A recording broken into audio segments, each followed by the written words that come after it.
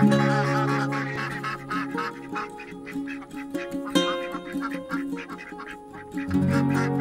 you,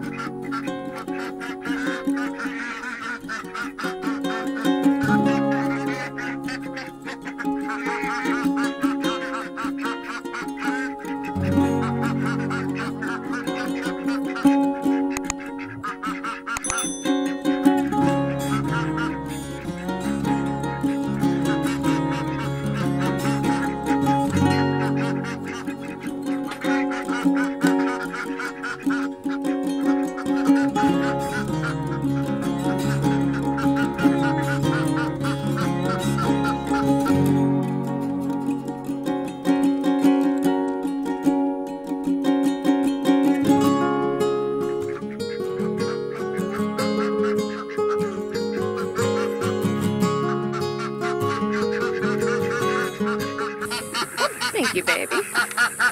Well, I'm not gonna take your eggs or hold you ducks. Oh my goodness. it is really, I know. It is really, really hot right now. It has been hot for the last couple weeks, actually. Um, I don't know. It's dragonfly mating season. So I don't know what the temperature is right now, but the regular it's been going between uh, 96 to 98 degrees during the day, and um, that's not bad, but the humidity is 80% plus. And so when you have those two factors come into play, the humidity, the high humidity makes it feel hotter than it actually is. So there's been days where it feels like it's as hot as 109 degrees. And uh, that's not fun. So it's been a really hectic last couple weeks and I thought that this would be a great time. Things have cooled down, birthing season's over, so I thought this would be a great time to just go through and update you on all the different things that we have around that you guys have not been able to see updates on in the last couple weeks, including meeting Annabelle's baby. So as you had seen at the beginning, um, the baby goats are doing wonderful. Um, Mocha's, Mocha and her baby are doing great. They're healthy. Maple and her baby are doing great. They're good. I'll give you guys an update on Pepper later on whenever we get back to the house. But uh, the baby goats, they're getting to that stage where they're they're playful. It's a little hot right now, so they're not as playful right now. But um, they're getting to that stage of just that cute, cute goat playfulness right now. And I love it. Quack, quack, quack, quack, quack, quack, quack, quack, quack. Hi, that baby. Look at that baby. so he's definitely got the biggest buds. Like he's already got horns starting to come in. So we really, I guess, I guess we'll just let him keep his horns and we'll just disbud if we're gonna. I don't know. I'm on the fence as to whether or not I want to disbud the other two because we're, uh, we're not still not sure yet who we're gonna keep exactly because um, we do, we're thinking about keeping one of the boys to wether out and make as a companion for Saffron because he's going to start running separately. And we're seriously thinking about keeping Mocha's baby just because we bottle raised her for the, for the first few days and she's just extra sweet and cuddly and we just love her. So that's currently on the fence. Um, also, we've been doing a poll for the last week since they were born on collecting names for them. So I am going to leave a uh, link down below to go and vote on the names for the babies. So I'm going to go ahead and let you guys see them and introduce you to them one more time just so you can kind of be refreshed on your memory. The little brown one is snoozing right now. Perfect time to introduce him. So this is Maple's first little buckling that was born. Hey, come here. I'm trying to introduce you. You saw him just a second ago. He's a, he looks just like Maple. He's a black and brown. And he just, oh, look at that. Oh, does that feel good? Is that nice? Are You're just gonna fall asleep right here in my hand. But he is the eldest little buckling from Maple. And then we have Mocha's baby. She's a little doeling. Hey, baby. Oh. she says, hippie hop. Hi. Oh. See, I told you guys they were starting to jump around. Hey, baby girl. Hey, did you bonk your head? So she is a gray, just like her mama. Hey! Hi! What are you doing? Hey! Oh, oh, oh. Oh, you're feeling real spunky right now, aren't you? But so this is this is Mocha's single little gray doeling. Oh, she's just oh. and then the last one, who is snoozing over here. You can't eat his ears. This is Maple's second buckling. Do you mind? so this is Maple's second buckling, and he is extra sweet. Uh, we were actually right off the bat considering keeping him. So that is the last one of the trio. So I will post their pictures with them for the voting so that you guys can uh, make your decisions. you guys are just so cute. Are you going to try and jump on him too? What are you doing? You can't eat his ears.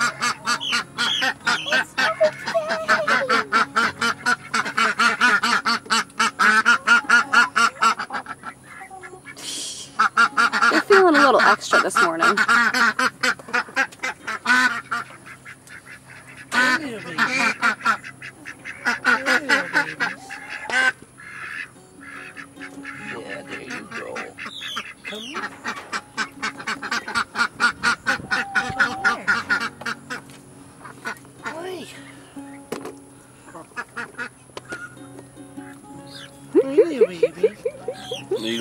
Gonna attitude? Is that what's going He's happen? been so sweet. It's so funny that he's like suddenly aloof today. aloof. Because we bottle fed him for a little bit. Too. Yeah, like there was a good 24 hours that we bottle fed him just to make sure he was getting nutrients.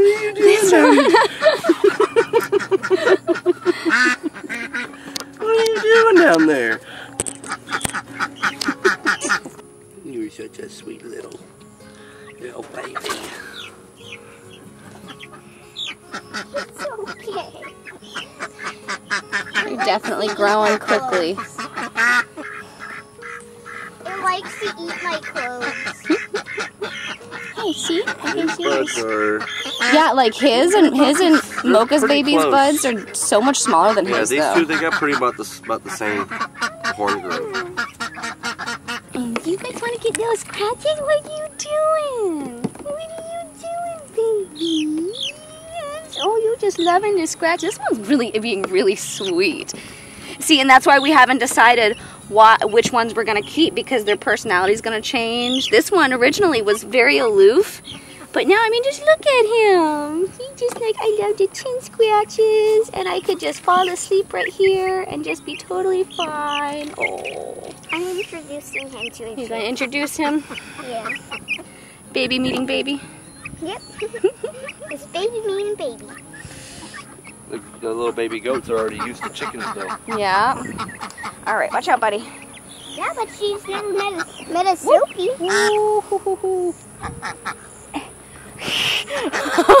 my life flashed before my eyes. It's not on. Yeah, but I almost fell.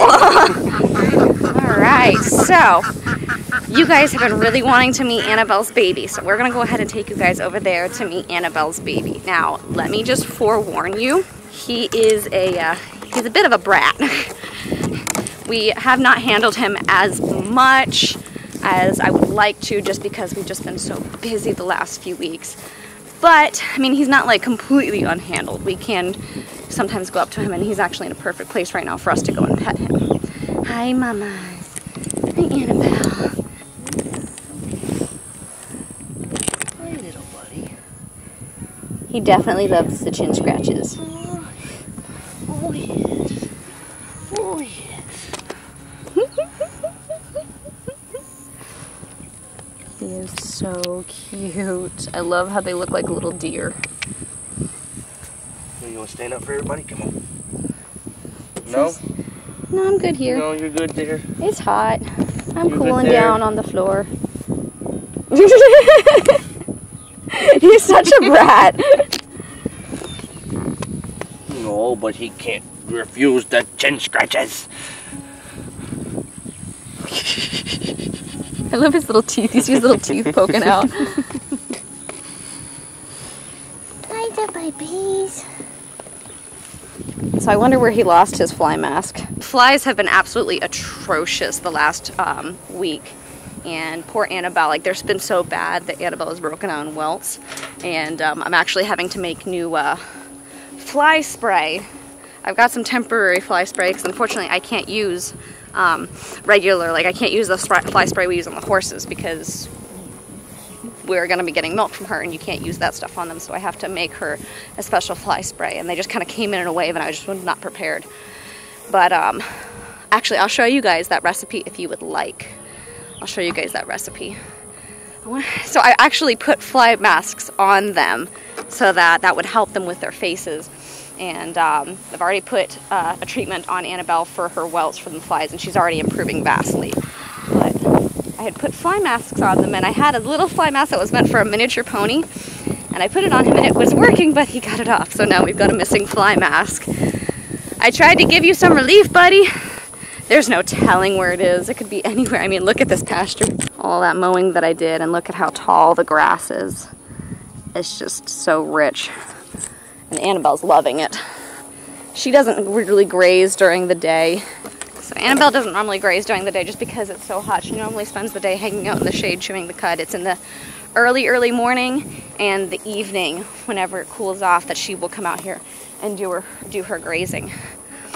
But yeah, I don't even know where that where that fly mask could be. It's already getting so hot. I think it's like 10:30 in the morning, which this is normally when the heat really starts to set in. Normally it starts to set in around 8:30, 9 o'clock. But we got out here that time and we got the food set up. It's 4th of July week and it's actually a Friday right now and Davis is actually off work, so we're actually getting to spend some time with him on a weekday, which is not normal, but wonderful. You see anything, babe? Ah. We'll find it. She'll mow this down eventually and it'll turn up. But she'll have plenty of time to mow this. She'll be able to be on this paddock for a while.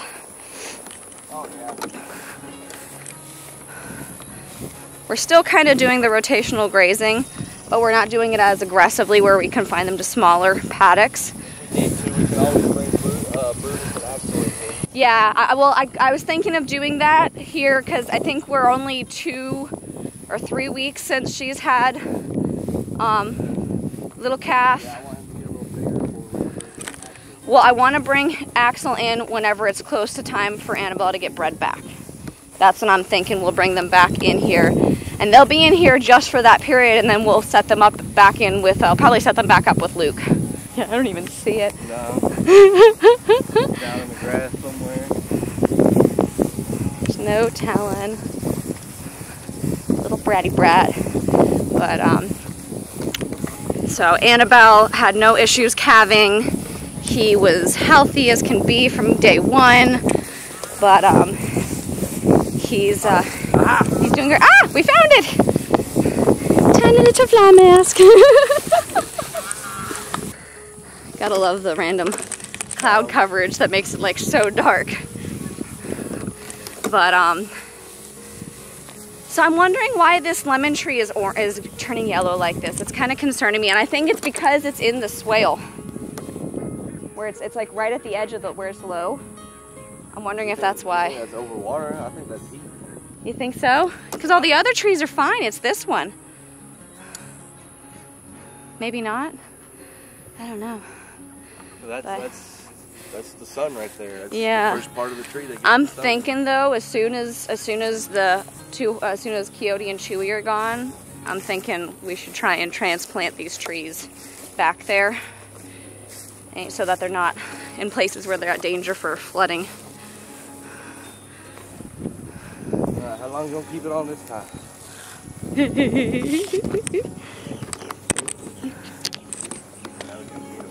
Now he's get him. Up. Oh, can you get him? Here, I'll block him off on this side.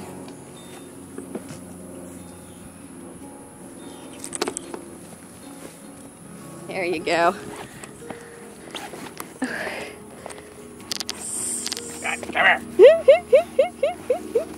oh, you got it upside down, babe. I'm trying. Just trying to get it over his nose.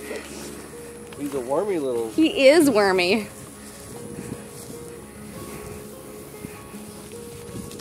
He's. Here, I'll try and divert him into there.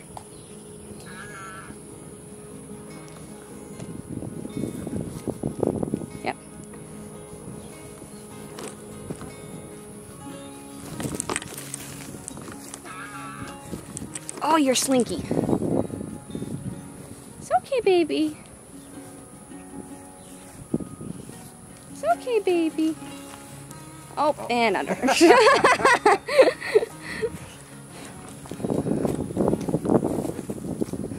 uh, we'll just leave it off of him.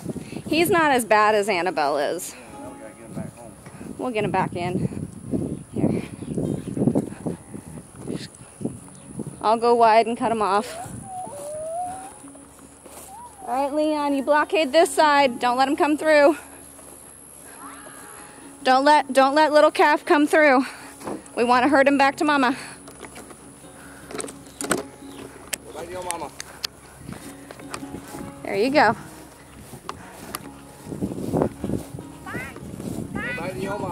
Go on. Oh, no, wrong way. Go back to mama. Go back to your mama.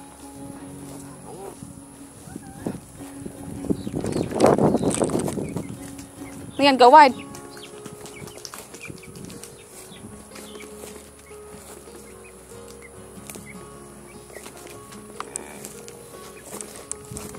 There we go.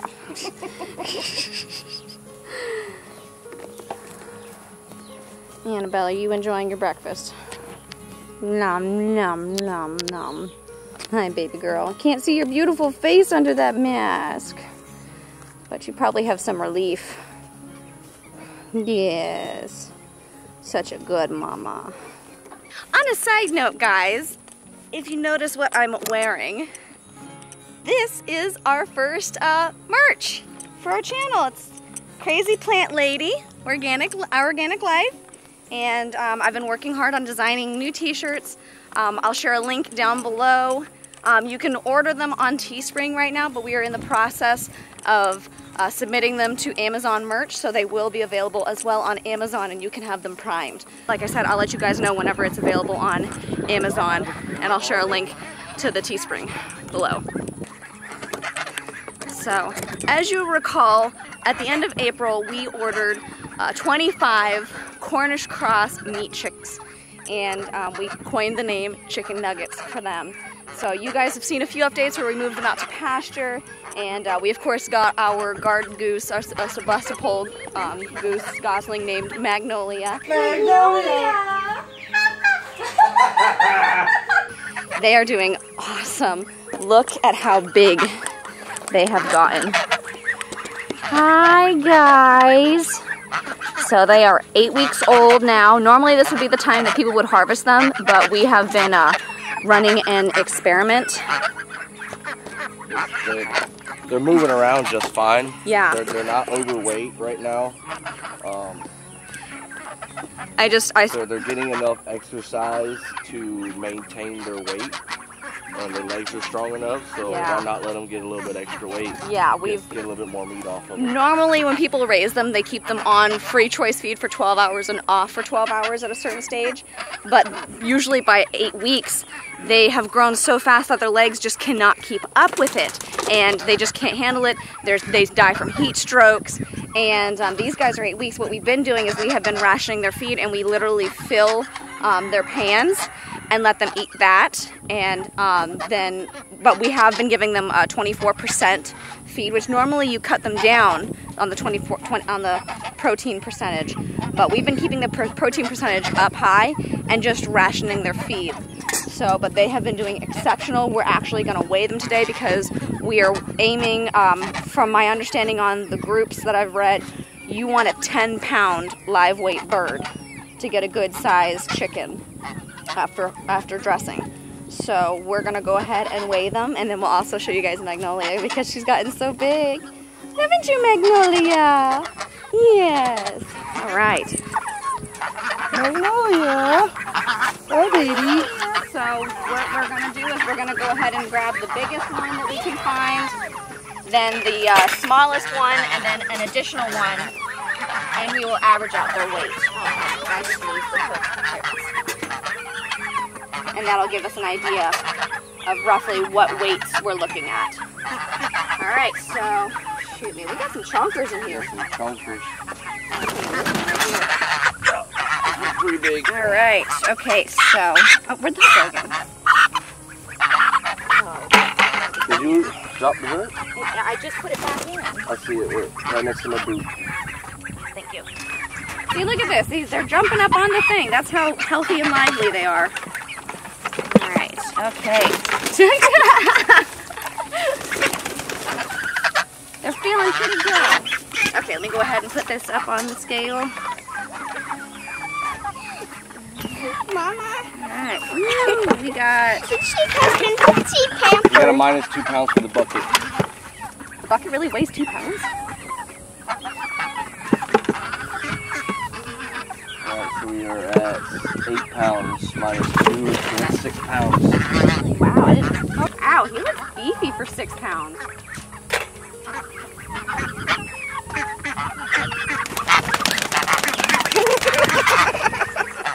All right, I think we have a volunteer for the smaller. All right, okay. And nice one kilogram for handle. That one is six minus two, that's four pounds. Okay. Right. So, maybe we'll up their feed more. We'll start feeding them Yeah. in the as well. Volunteer Yeah. in the bucket. And uh, see, I'm just like they're huge. Ow! Just trying to get them. Food, food.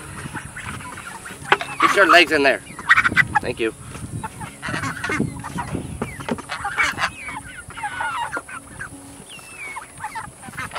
So five pounds, six pounds. So we're looking at about five pound average right Yeah. now. So, So let's, we're gonna up their feed, yeah, we're gonna up their feed. and we'll probably harvest in two weeks. She has been officially. Girl. Hi, pretty girl. Magnolia will have. Pretty girl. Mama, I Pretty always want girl. blue eyes like Magnolia will have when she's fully grown. Hi. Hi. Here she is, Magnolia. Hi, pretty girl. Hi, gorgeous girl. She's so soft. Mm. And her nice, pretty feathers are coming Yeah, in. see, look, I see all her fluffy feathers coming in. Oh, she's shaking. Oh, she's She a little spooked. cold. We haven't been holding she, her she, much. She wants her food. She sees Yeah. the food in there too. She hasn't. We haven't been holding her much. We've been letting her just run with her flock. That's such a good girl. But she's warmed staying sweet enough that she's still allowing us to handle her Mm-hmm. and pet her. Pretty girl. Pretty girl. Here, baby. You go get you some food before they eat it all.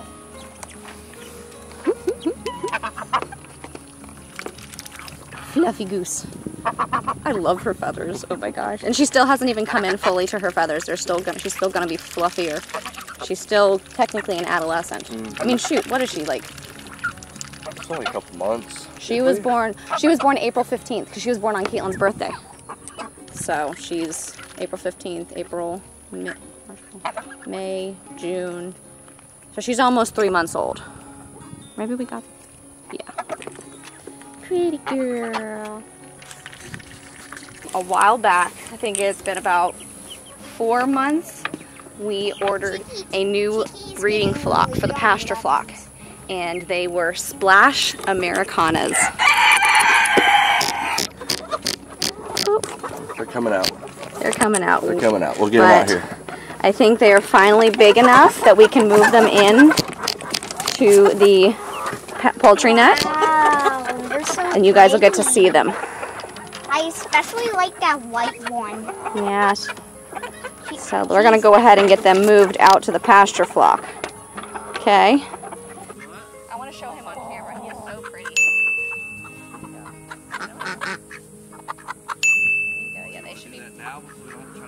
Yeah.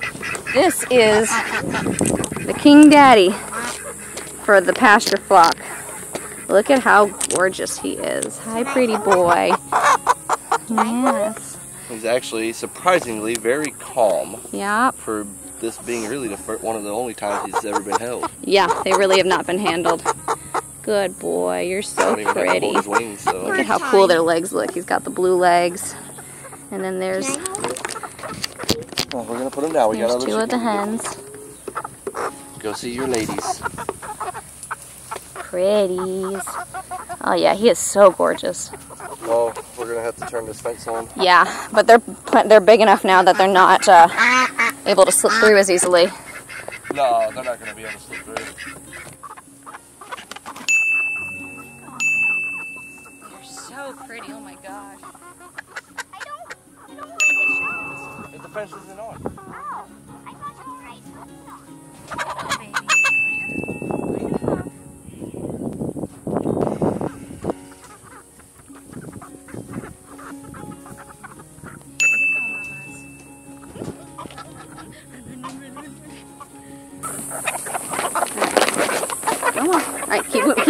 buddy. Keep moving with them.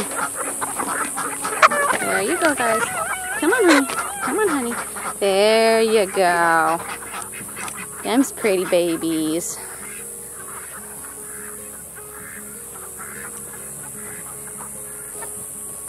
There you go. See, you guys got all this room now. Isn't this so much better?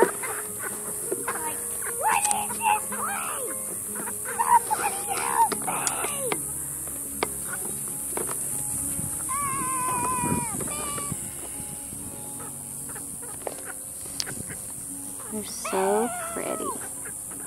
Wait, wait, wait, wait! Where are you going?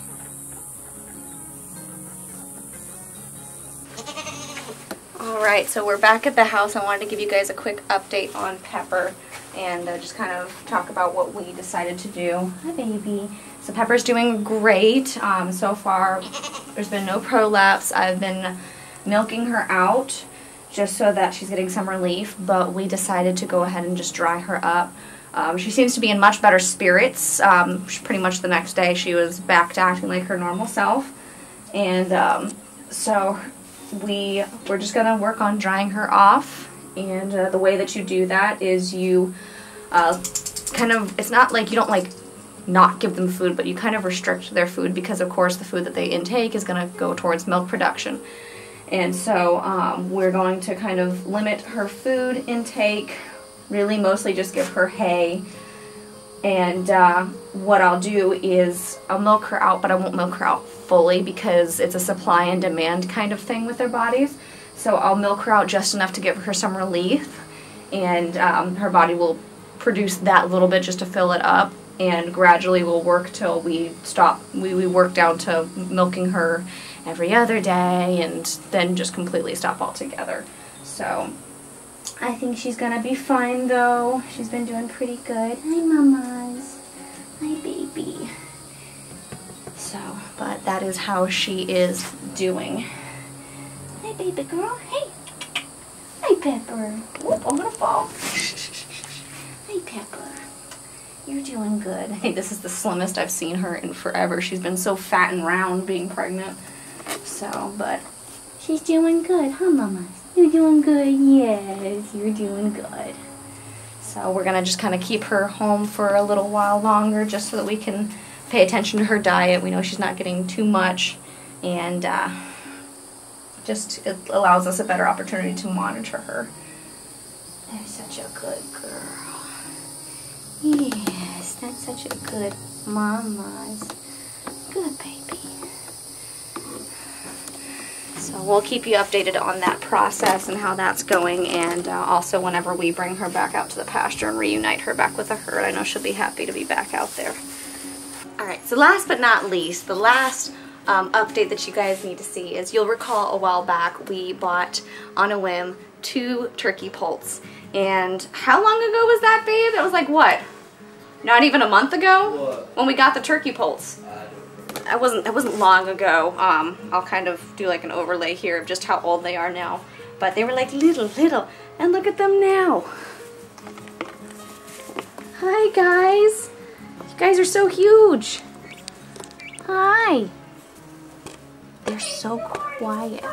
So they've been living out in my office, getting big enough. We originally tried to move them out to the chicken tractor to run with Magnolia and the chicken nuggets, but Magnolia, in her defense, we raised her with uh, um, with chicken nuggets. Mm, She had never seen a turkey before, and so she just was not really a fan of them. So, in her defense, she had just never seen a turkey before. And she was just doing her job. This is not part of my flock, so I'm going to chase it off. And uh, she didn't hurt them, she just kind of harassed them. And so we immediately brought them out and brought them back home. So we're going to let them get a little bit bigger. I think that they're about at that size. I think maybe just a touch bigger, and we will move them and integrate them into the pasture flock. I want them to get bigger, not just so that they stay put in the poultry net, but also so that the chickens are a little bit intimidated by their size and are less likely to really harass them. Hi. Hi.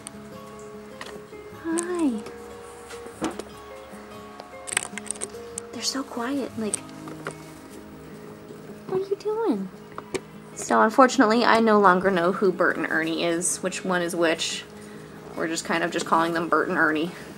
And then we'll just kind of, once we determine if one's a female and one's a male, then we'll decide, okay, well that's, that's Bert and Ernette. so, but I think they are, they're doing excellent. They're doing great.